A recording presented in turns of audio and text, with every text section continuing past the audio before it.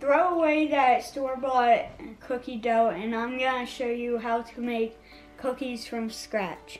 Hey everyone, please take a second to jump over to my son's channel and check out his new video. Thanks.